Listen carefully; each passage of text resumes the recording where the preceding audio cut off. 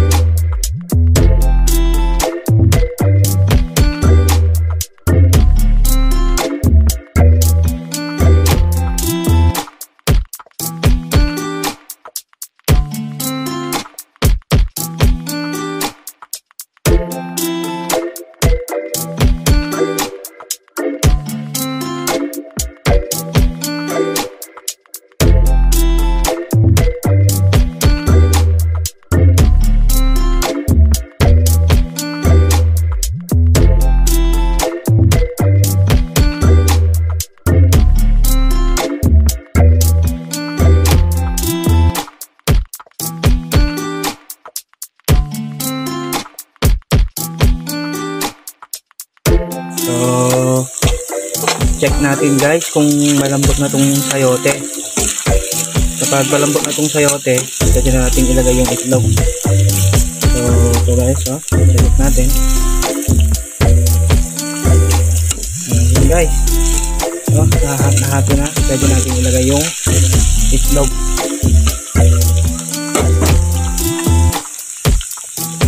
Ganito lang guys, kapag ano lang yung nandito sa bahay, yung lang din yung niluluto ko. Hindi na ako naghahanap ng iba. Hintayin lang natin na maluto yung itlog guys. Bali yung itlog nilagyan ko na rin ng ng uh, kanya ng mga granules niya. Uh, timplahan ko na rin. So, abang-abangan natin guys kung maluto na yung itlog. Pwede natin ang uwi natin ihain. So, tingnan natin guys. So, yun na guys. Luto na. Once again, uh, Jishay Mix Vlog. Salamat at sinamahan nyo na naman ako hanggang sa dulo. Dahil sinamahan nyo na naman ang aking munting channel.